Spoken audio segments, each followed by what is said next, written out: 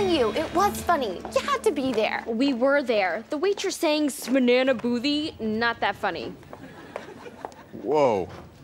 Something seems different around here. You look like an animal that just sensed danger. Let's hope this doesn't end with a lion lunching on his innards.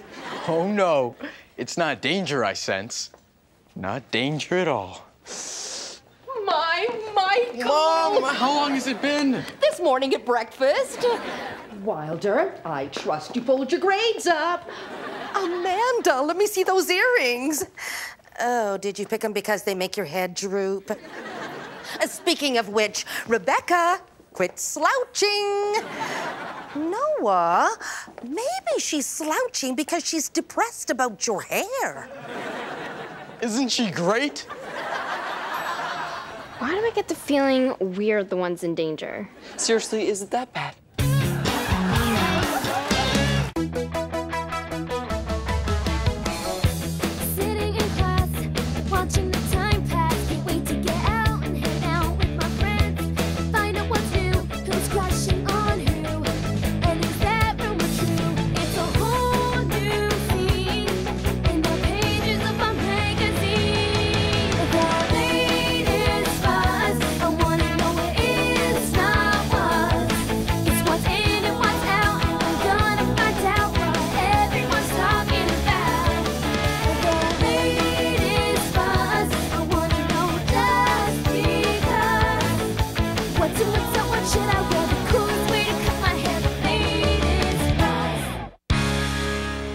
Mrs. Davies came to drop off Michael's after school snack, she offered to stay and help me organize my day planner. You're in good hands. A trade publication once named my mom one of their organizers to watch. I had to give it up when my Michael was born. When one dream ended, another began. Oh. Everyone can benefit from a little extra organization. Exactly. Like if Noah had been better organized, he wouldn't have missed that dinner we had two weeks ago. Shame on Noah. Well, showing up to dinner empty handed isn't much better, dear. Looks like you got on the shame train one stop too early. Great grub, by the way. I love food I can eat with my hands. You were eating mashed potatoes. What say we get back to working on my day planner? Great idea. Can I come watch an artist at work? Oh, Michael, it's not art, it's a science. Michael's mom is the best. I love her. Because of Mrs. D, my table manners have improved. My eating over the sink manners still need work. She makes me realize I should smile more when being brutally honest. What? This is asinine. Somebody has to tell Michael how pushy his mom is. No way, dude. Mothers before brothers. You can't say anything bad to a friend about his mom. You have to do the noble thing. Make fun of her behind her back? No. Force him to say something bad first, then agree. All right, but making fun of her behind her back is so much easier. The worst part about being a teacher was when they picked partners, because there was always one kid that got left alone. You always felt sorry for that kid. So now you got to put that kid with the two girls, and he does nothing. He just stares up into space while they're talking about the giraffe. He still gets seven out of ten though, because I marked him the night before. So there's nothing you can do about it. What are you doing? I'm taking notes for my article. Being a class clown and where it may lead you. From the looks of things, telling jokes to six people at the blurb sounds like a warning. Quiet. The comedian may hear you. You don't want to draw attention to yourself. Excuse me, talking girl. What are you doing? Are you writing down my whole act? No, you seem to know it pretty well already. What's this for? I'm writing an article on class clowns. Hmm. I had one in my third grade class that I wanted to interview, but he's still in detention. I'm gonna read this article, seriously. Subscribers? I have a pretty good feeling they're probably just gonna skip that page. See, you should leave comedy to the professionals. That's why I have the talking stick, where it makes my voice nice and loud. Well, there's something terrible has happened. I know. It should not be this hard to put pepper on my sandwich. No, for her birthday, I gave my stepmother a coupon book full of things I knew she'd never make me do. You mean like cooking and cleaning? Exactly. But then she handed me this. A coupon for one free day of babysitting. this won't be so bad. Your stepmom's old enough to take care of herself. Just put on the TV and help her with her drawings. It's not for her. It's for when my new baby brother slash sister is born. It's her way of telling me I'll have to help out. Then to me, maybe the thing you should do is help out. But I don't know the first thing about taking care of babies. I have just the thing. Meet the interbrat. It looks like an egg. It's not an egg at all. It's an egg-shaped orb. You connect it to the internet to learn how to take care of a real baby. I used it when my parents adopted my baby sister. Your family adopted a sister? Why have I never heard of her? I told you about you, eh? That's a sister? I thought you were sneezing. This will be great. I'll connect you online. Now, the program tracks how well it's rested, fed, and hugged. I don't know. You'll do great. All you need is dedication and smarts, and you have both. You're right. Plus, I'm good looking. With a face like this, I'll be the best interbrat mother ever.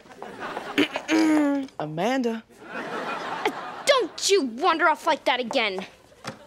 Kids, huh? To it. See? Best left to the professionals? It means that professional comedians are better. I know what it means, but I got laughs too. Well, of course you did, dear. But not everyone can be funny like my Michael. He used to dress in his dad's suit and do impressions of everyone in the family. How did that one of your father go again? Take off my suit. My little man. oh, you'll be one soon. Michael used to have thin arms like you, and look at him now. With the right foods and a little luck, you'll get there. Isn't she great? With the right foods and a little luck, maybe I can be that great too. What's that supposed to mean? Mothers before brothers. It means that your mother has a point. My arms are scrawny, and one's getting ready to bruise.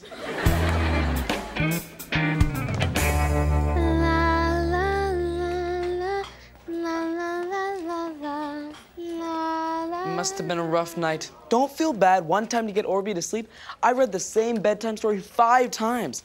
Didn't help that I fell asleep every time I read it. Not me. I sang half a lullaby and he was out like a light. That's impossible. Wait a minute. According to the data, Orby is well rested, fed, burped, changed, and bathed. And I'm setting up meetings to the right preschools. Not letting him get mixed up with the wrong orbs. Now, if you'll excuse me, I have a mommy me synchronized swimming class to get to.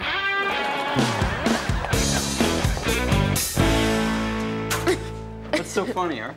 Just enjoying a slice of sweet comedy pie I baked with my own hands. It's my stand-up routine. Oh. See for yourself. Okay.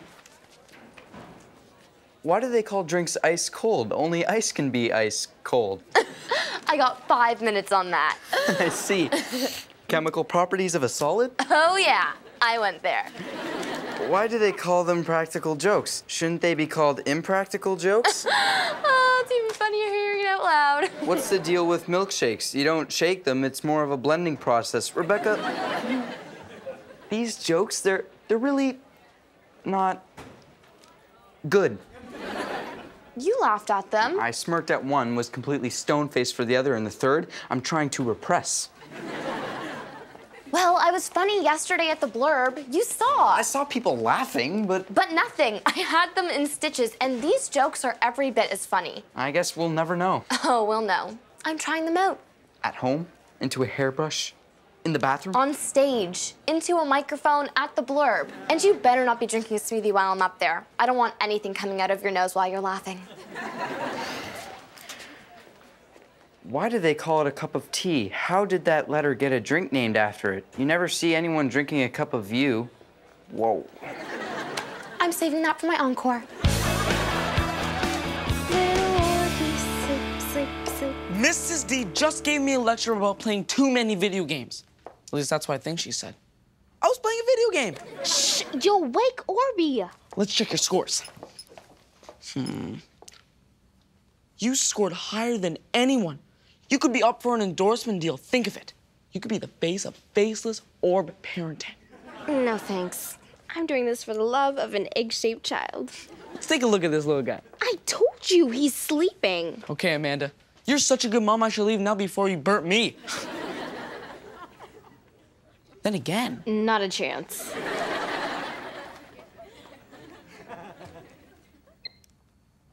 Hello, Daddy's assistant. Good job keeping the orb alive. Oh, BT Dub, put on your swim cap because you have a mommy and me synchronized swim classes aft. Tito Oh, Mrs. Davies heard about my comedy debut and she put all my jokes on index cards. She even changed the wording on some. She's tarnishing my gold. You're right. We should probably just burn them all, you know, to be safe. Haha, you're always the funny one. Now it's my turn. Batter up. Mrs. D pulled a sandwich right out of my mouth. She said I was spoiling my appetite. Spoiling it? I was challenging it. That's what appetites are for. Mrs. Davies just trying to force me to eat some half-eaten sandwich. Mothers before brothers rules still apply. Just get Michael to say something bad first. It's our only hope. My mother's having so much fun with all of you. Not as much as we are. You guys sure you want around this often? I wish he could be around more often. Well, I've got some great news. In order to make us all more efficient, DJ's keeping it for the month. First off, you all need to stop lollygagging around. The Davies train to efficiency is pulling out of the station. Woo, woo! So what do you think? woo Woo woo?